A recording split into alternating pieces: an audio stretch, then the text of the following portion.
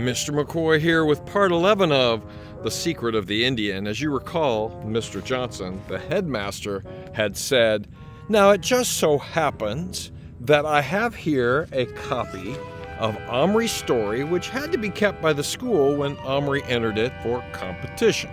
And what I thought I would, what would be nice would be as if Omri would agree to read us his winning story as this morning's assembly feature. Omri's mouth fell open. Mr. Johnson was handing him a typed manuscript, which he well recognized. He typed it himself, Hunt and Peck system, in three copies. One he'd sent in uh, to Telecom for the writing competition, one he'd kept, and this one he'd had to hand in to the school office. Across the top was typed the title, The Plastic Indian. He clutched it till it creased swallowed hard, and looked up at Mr. Johnson imploringly. Now, now, Omri, no false modesty. Telecom has notified the school that you have won first prize in the intermediate age group, uh, 300 pounds, or money, in other words. What about that, you people? There was an impressed and envious gasp from the assembled crowd below, and Omri heard murmurs of, 300 quid? Wow! Get old Omri then, millionaire time, blimey! And uh, they burst into applause all over again. Stand here in the middle of the stage, Mr. Johnson said, maneuvering Omri by the shoulders. Now then, I haven't had a chance to read this myself yet, so I'm just going to sit here and enjoy it. Well done, Omri. Off you go. What do you suppose everyone's reaction will be when Omri reads his story? Share with your fellow listener. Omri dithered for a moment or two and then thought, hey, this isn't half bad. I've dreamed of this happening. So he began to read. The story was based on his first meeting with the Indian a year ago when he discovered the cupboard and the key's magic. It was a great story, and he'd done his best to write it well. At first, when he began to read it, he was nervous and stumbled over the words, but after a paragraph or two, he hit his stride and began to feel and read with feeling and expression. He did Little Bear's gruff voice and had a stab at Boone's Texas accent. Then he said something funny, and the whole audience erupted with laughter. During the exciting bits, everyone sat poised to catch what came next. Was very satisfying, and when he finished the story and the applause broke out again with some cheering, Omri felt this was a great moment in his life, one that he'd always remember. In fact, he was feeling extremely pleased with himself, not at all a sensation he was accustomed to at school, when he suddenly became aware that Mr. Johnson had stood up behind him and was looming over him in a distinctly sinister manner. Before the audience had died away, Mr. Johnson bent down and whispered something in Omri's ear that made his blood chill in his veins. I want to see you in the office immediately. Omri turned to look at him.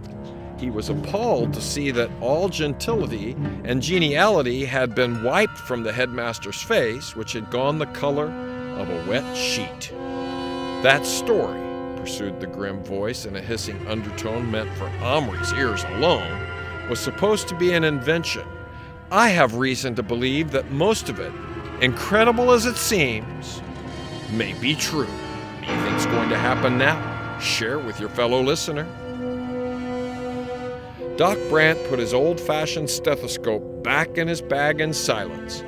Patrick, peeping through the frill of cotton lace around the top of Ruby Lou's dress, saw Boone lying on her bed on a brightly colored patchwork quilt.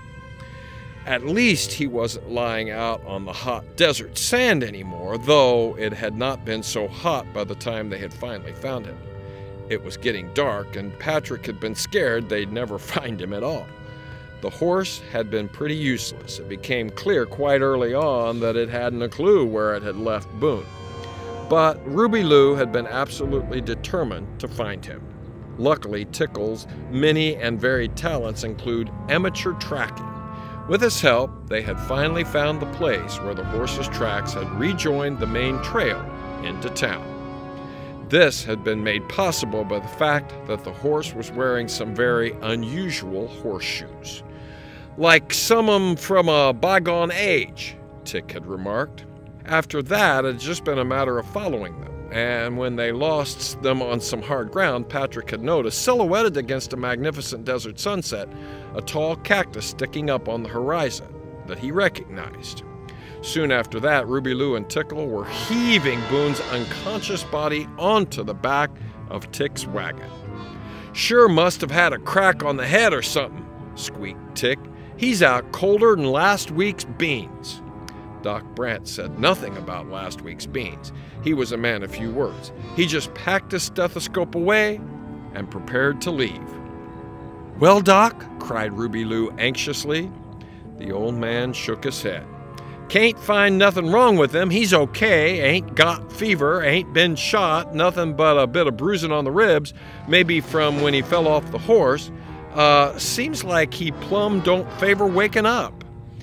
Ah, God pardon sin, Doc. Maybe he's drunk, asked Tickle piously. Look who's talking, muttered Ruby. The doctor shook his head. No liquor on his breath. Can't explain it. Just better leave him lay. When he'd gone, Tickle said he'd mosey over to the saloon to tickle the ivories for a while to soothe his nerves. Uh, you be okay here alone, Ruby? I ain't alone, she replied promptly and patted Patrick. Uh, Pat and me'll keep each other company and decide what to do about Billy here. Tickle suddenly threw himself up to his full height to five feet and intoned in an unexpectedly deep, commanding voice Don't you go believing everything you see. There's a lot of devil's work in this world. I know it. Account of I ain't free of sin myself. And he cast his eyes to heaven before closing the door. Do you hear that?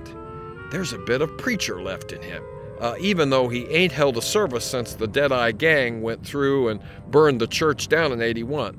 That's how he learned tracking, uh, trying to chase him. It was covered with a rich and, from Patrick's point of view, colossal assortment of feminine fancies, a tortoiseshell backed hairbrush, elaborate bottles of perfume, a number of sepia tinted photos in heavily worked silver frames, an ivory comb, Patrick could easily have sunk and suffocated in the scented powder in a cut glass bowl, and the mirror in its bright enamel frame, above which he could see his head, was the size of a reflecting skyscraper. The copper hairpins scattered about were as tall as himself. Okay, Pat, let's hear from you, said Ruby Lou. Who? Me? said Patrick, startled. Don't string me no line now. You know what's up with my pal Billy Boone, don't you? It was not a question. Her blue eyes were narrowed as she looked at him, though her wide red lips and her mouth were smiling knowingly. Patrick sat down cross legged on a white swan's down powder puff. Yes, I do, as a matter of fact, but you don't believe me if I tell you. Try me, Patrick told her. Boone's left his body behind and gone into the future. There was a pause while she took this in. Supposing I say I believe you, and I just might, cause he told me some such tale himself once. Will he come back? Yes, but only if my friend Omri turns the key at at the other end. Into the future, huh? Is that where you come from? Yes. What year? she asked, as if that would catch him out. Patrick told her. She straightened up. Holy snakes, that's almost exactly a hundred years from now. She walked about the room for a bit. Patrick watched her. Of course, she was rather gaudily dressed, and he supposed she was a lady in name only, so to speak. But when she was at the far side of the room, so he could see all of her, it was obvious that she was very pretty. She was clever, uh, she was clever, too, cleverer than all those crazy men in the bar who had started shooting and fighting at the sight of him. And she was brave and tough. The way she'd ridden that horse, the way she'd stuck to the search, the way she'd lifted Boone's big body onto the tail of the wagon. Patrick admired her, and she liked Boone. She liked him a lot. Patrick wondered if he liked her. She stopped pacing. What's it like in the future? It's okay. We've got a lot of gadgets and stuff for making life easier. Uh, you get about in cars, that's like horseless carriages, very fast, And we've got flying machines. We've got moving photographs uh, that you can have in your home to entertain you. And doctors have found out how to cure lots of diseases so people live longer. Gee, sounds great. Any drawbacks? She was clever.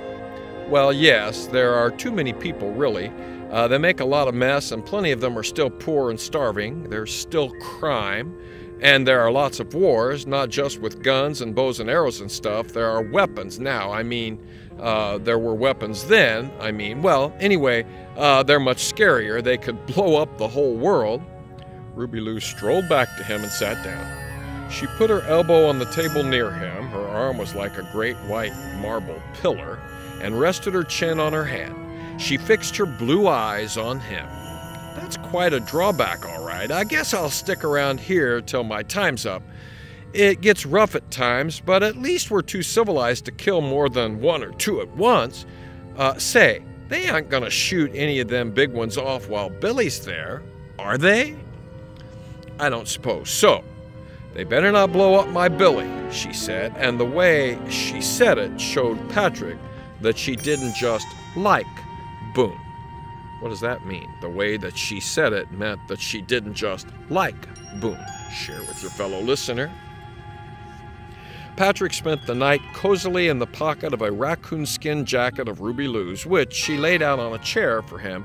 She spent the night sitting by the bed, watching Boone. Won't you be tired? Asked Patrick as she bedded him down after giving him a supper of a few fibers of underdone steak and a crumb of potato washed down with milk from her sewing thimble. Don't you fret about me, pal. I'm used to going without sleep. She turned the oil lamp low so as not to disturb him, and he saw her move to the window. She drew back the frilly curtains. Sky's a funny color, she said, peering out into the night. I don't like the feel of the air either. Kind of tight feeling. Hope we ain't in for a big blow.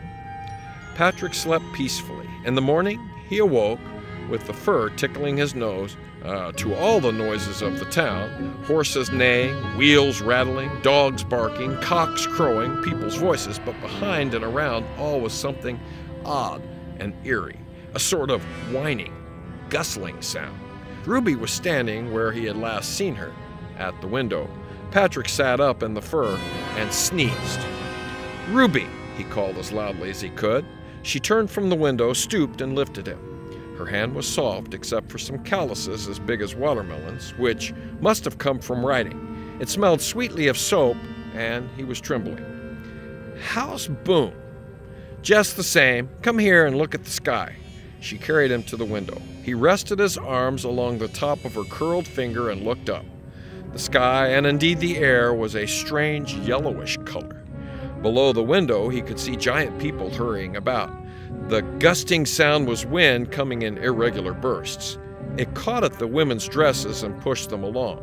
It blew smoke from chimneys away in sudden puffs, like warning smoke signals. It was disturbing the horses, tearing at their manes, flattening their tails to their haunches, making them shake their heads earnestly and uneasily. As Patrick watched, a man's big hat was blown off his head and trundled up the dirt street along with several balls of thistles. The man ran after it. Somewhere a door banged and banged rhythmically as the wind began to blow more steadily. What is it, Ruby? asked Patrick in a worried voice. I'm not sure, partner. I just hope it ain't what it might be. What? Blowing up for a twister. Patrick turned to look at her, but all he could see was the underside of her chin. His mouth had gone suddenly dry. You you don't mean a cyclone, one of those black funnel things that Ruby Lou looked at Boone lying on the bed. She'd covered him with a rug the night before. He looked peaceful and had a good color. His hat, which Ruby had picked up on Patrick's advice, lay beside him. Say, that'd be one for the books, she said with a sudden strained laugh. What would? Uh, we was worrying about what might happen to him there. What if your friend turned his magic key and sent Boone back there, and the bit of him he left behind had been blown, blown clean away? So what would happen? Share with your fellow listener. And now, moments more of The Secret of the Indian. Mr. Johnson kept his hand on Omri's shoulder all the way to his office as if he thought Omri would twist free and run for it if he didn't hold on to him. And he might have done it too if he hadn't been half paralyzed, at least mentally, from apprehension. He knows. Those were the only words in Omri's head. What was he to do when the interrogation began, as it would in a matter of moments? Lie? Deny everything? Okay, but what if? Then he walked behind his desk, but he didn't sit down. He leaned forward and rested his knuckles on the desk and glared hypnotically into Omri's eyes. Now, Omri, he said in a clear, deep voice, which he used on only the most solemn occasions when someone had done something expulsion worthy, you know what I have to say. Omri swallowed and stared at him the way a rabbit stares into a car's headlights as they bear down on him. We'll find out what happens to Omri and Patrick as the secret of the Indian continues.